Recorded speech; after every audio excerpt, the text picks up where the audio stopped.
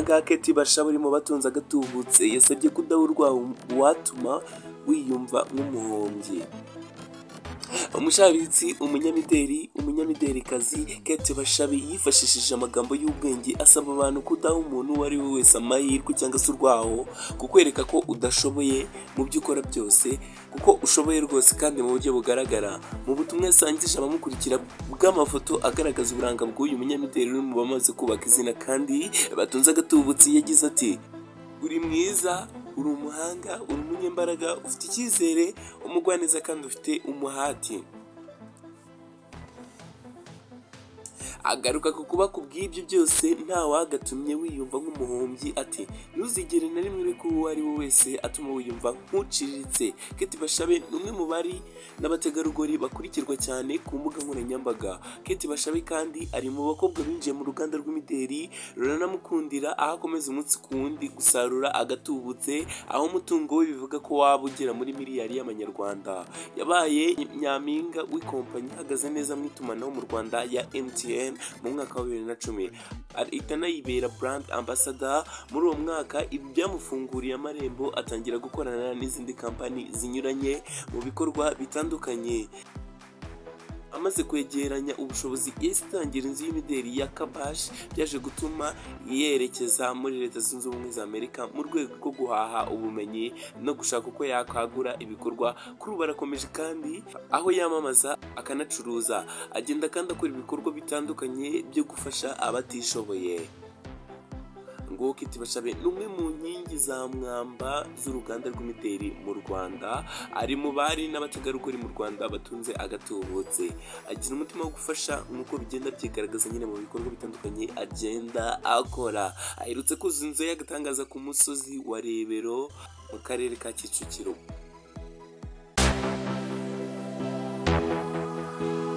Muri training news kandi nanone ntago nakwibagirwa kukubwira kuri iyi nkuru. Yaje kubatangaza uyu munyamakuru nyine Uncle Austin. Uyu munyamakuru w'umugabo ufite umwana ndetse akaba akora umuziki awufatanyije n'itangazamakuru. Yaje kubatangaza ko umuntu yifuza kubana nawe ari umwana we ko nyine yifuza kubana n'umwana we. Wakwibaza uti se ubundi yifuza kubana n'umwana we gute? Kandi ari umwana we. Uyu munyamakuru nyine yaje kubatandukana n'umugore we aho bivuga ko umugore we waba ari we ufite umwana. Reka tuze tukubwira byinshi kuri iyi nkuru ya Uncle Austin. Wow komeza kunkurikira ni Rodson Paul uri kuri zone 250 yifuza kubana n'umwana we umunyamakuru Ankostin abajijwe ku mwana we ikiniga kiramufata. Umunyamakuru akaba n'umuhanzi ukunzwe n'abatari bake wamamaye nka Ankostin abajijwe niba umwana we yaragarutse mu rugo ngo babane ikiniga cyaramufashe ariko avuga ko yizera ko bizaza. Ibi yabivuze mu kiganiro yagiranye n'umunyamakuru mugenzi we Chita aho yari yamusuye muri resitora aherutse gufungura. Mu kiganiro Austin yavuze ko umwana we aheruka kunyura kuri resitora avuye ku ishuri byatumye umunyamakuru ahita amubaza ati uvuze ko umwana yiruka guca hano ese yaba yaragarutse kuba mu rugo bya burundu?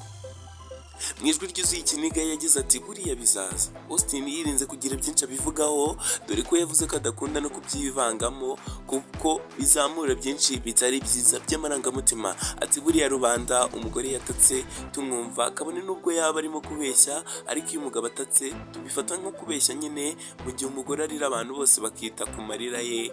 Umugabo we rwose aba ari umuntu mubi. Yakomeje avuga ko kuri we yemera ko buri muntu atagiye hitabwa ku mafuti y'umuntu ariko batitaye ngo ni umugore cyangwa se umugabo.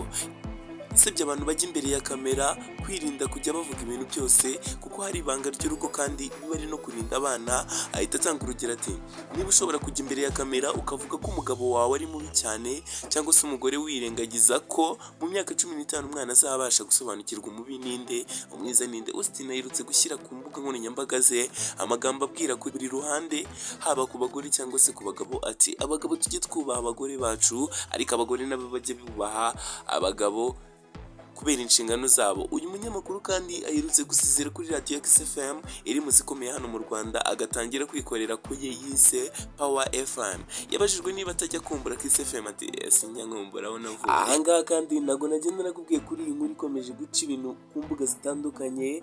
Amagambo Miss Mutesi Jolly yavuze kuri kwizera Olivier ahangaha yazamuye amarangamutima ya benshi batebya bamusabira avenesi nyuma y'uko nyampinga w'u rwanda bibiri na cumi na gatandatu mutesi jori agaragaje ko yanyuzwe n'imikinire y'uyu musore w'umunyezamu mu mukino wa senegal ndetse akavuga ko hari umufana we byazamuye amarangamutima ya benshi ndetse bamwe babizanamo gutebya ku wa kabiri w'iki cyumweru ni bwo amavubi yakinnye na senegal umukino w'umunsi wa kabiri mu itsinda rm mu gushaka itike y'igikombe cya afurika cya bibiri makumyabiri na gatatu. Senegal yaje gutsinda u rwanda kimwe kuri zeru cya penaliti ya sadio mane yagiyemo ku munota wa nyuma.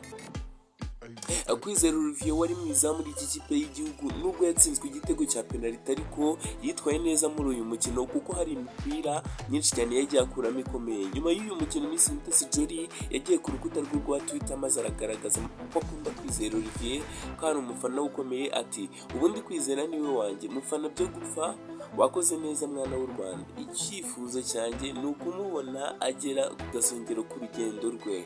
Si ubwa mbere Miss Mutesi Jolly agaragaza ko ari umufana wo kwizera Olivier no muri bibiri na makumyabiri na rimwe ubwo Amavubi yari muri cani yarabigaragaje ko ashyigikiye uyu musore. Ubutumwa bwazamuye amarangamutima ya benshi aho bamwe bamushimiye ko ashyigikiye kwizera Olivier. Ni mu gihe kandi hari n'abatebya bamusabira kuzamuha happiness. Ni ukuvuga ibyishimo nyine. Ni imvugo iharawe cyane muri iyi minsi mu rubyiruko. Abandi nabo bati wiboneye inyana y'imbwa. imvugo yazanwe na Jolly nyine n'ubundi. Avuga ko kandi hari igihe umuntu akundana n'umusore akamurebera inyana y'imbwa. Ese woweho ibi ngibi ubibona gute abantu bagiye batandukanye ku rukuta rwa twitter bagiye bamubwira ibitekerezo bitandukanye.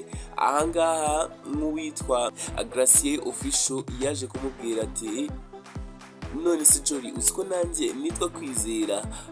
Kuri iki gitekerezo nanone cy'uyu musore yaje kuvuga ati aha turahuje kabisa. Kwizera Olivier is a lion mu kibuga. Neza Marie Claire nawe yaje kuvuga ati uzajye basura ubatere courage mbere ya match. Uwitwa Rodrigo Gonzaga yagize ati sure me too. I'm big fan of him. So kugaya ikipe yacu ariko kwizera atarimo. Ndabarahiye rwose bajya badutsinda ibitego magana kubera usanga bakinira imbere y'izamu ryacu guhera umukino utangiye. Bamutera imipira ya buri kanya ntibamutabare. Aha witwa umwotsi wa moto mahoro jack yagize ati ikibazo cye arashaka gutoroka. Uyu nguyu nawe ati ngabo se sha muhe happiness yumva icyo abandi bamurushije. Ndambizi nawe ati uzamuhe happiness. Abantu benshi batandukanye nibi bakomeje kuvuga. Uyu nawe witwa ngo uri seriye niko yavuze ati ni we nyana y'imbwa watubwiraga se burya ni abantu batandukanye ni ibitekerezo bitandukanye ntabwo twabisoma ngo tubirangize gusa icyo nakubwira reka dusoreze kuri iyi komantere y'uwitwa bonfis isabane wagize uti iyi inyana y'imbwa yawe irabonetse rata. Happiness hafi aho kandi as you are had fun ni ibintu bitandukanye bamwandikiye. Wakoze kunkurikira kuri zone 250 turi kumwe mu yandi makuru agiye atandukanye. Ndakwifuriza umunsi mwiza.